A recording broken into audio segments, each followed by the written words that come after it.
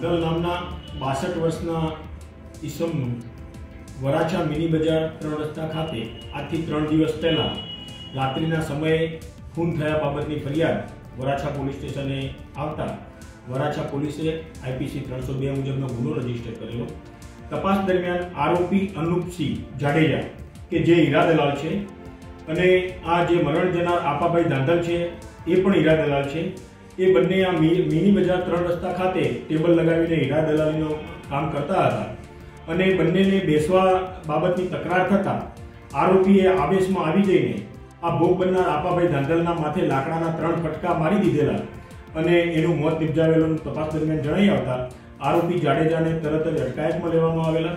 અને Covid test કરાવડાવી બીજા અન્ય પુરાવાઓ મેળવી આરોપીની ધરપકડ કરી પોલીસે આગળની કાયદેસરની કાર્યવાહી હાથ ધરેલી છે.